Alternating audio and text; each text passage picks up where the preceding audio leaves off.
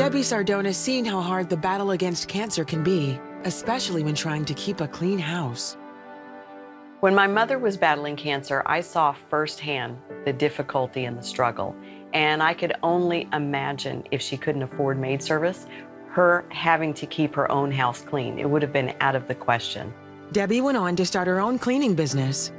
One day, she answered a call that would change her life. I took a call from a woman who was just inquiring about pricing for cleaning her home at my company, Buckets and Bows Maid Service. And before she hung up the phone, she said, I can't really afford that right now. I'm going through chemotherapy and radiation, and I'm not working. And she hung up before it even occurred to me that I could have offered her the cleaning for free. That day, Debbie implemented a new policy in her company.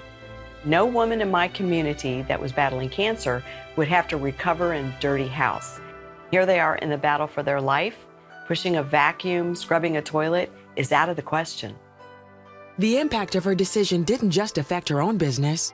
I turned that company policy into a nationwide nonprofit, and we began recruiting maid services all over the United States and Canada to also donate free cleanings in their community to women battling cancer. With the help of these maid services, women across the country are receiving the help they need. I have seen something as simple as a toilet brush change a life. Walking into a clean home gives women strength and hope so that they can focus on their health. One particular woman, Carolyn, wrote us, she said that her diagnosis with cancer was so crushing, she did not believe she was going to beat that disease. And after walking into a, a clean home, she said for the first time since her diagnosis, she felt control back in her life. For Debbie, cleaning is more than just a business. I am so personally enriched by making sure that these women don't have to come home to a dirty house. Several of them have become very personal friends, and it's, it's an emotional relationship, and it's really a spiritual relationship.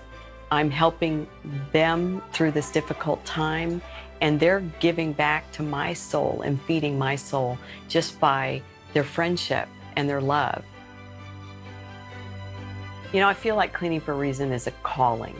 When you're in business, obviously you spend your days focusing on growing your business, but I answer to God and I answer to a higher calling. I think as Christians, that is something we all need to look for in our own lives or in our own businesses is ways to serve others and to make their life better.